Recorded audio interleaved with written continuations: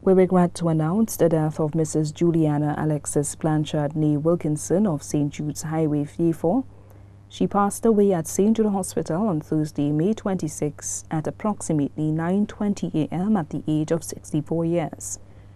She was a Eucharistic minister, Cursillo, former chief catechist, and a CXC invigilator.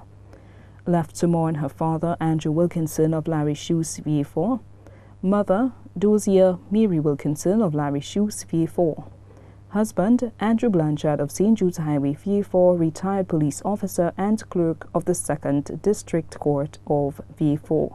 Two daughters, Dana Megan Blanchard, Vonetta Blanchard, both of St. Jude's Highway Vieux Fort.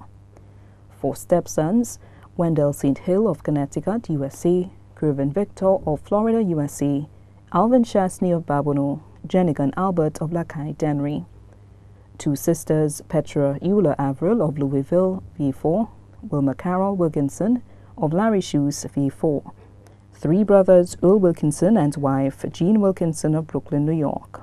Mervyn Wilkinson and wife, Christine Wilkinson of Coubaril Castries. Tony Wilkinson and wife Veronica Wilkinson of St. Paul's Lane, Vieux Fort. Four grandchildren Jesus Blanchard, Zion Blanchard, Vienna Blanchard, VJ Blanchard, all of St. Jude's, Highway Vieux Fort. Other relatives and friends both here and abroad. The funeral service of the late Mrs. Juliana Alexis Blanchard, Nee Wilkinson, will be held on Monday, 13th June 2016 at Our Lady of Assumption Catholic Church in Vieux Fort at 3 p.m.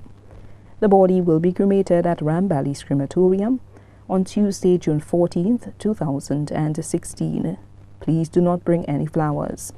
The body now lies at Lazarus Funeral Home, Yudok Road, Vieux Fort. May she rest in peace.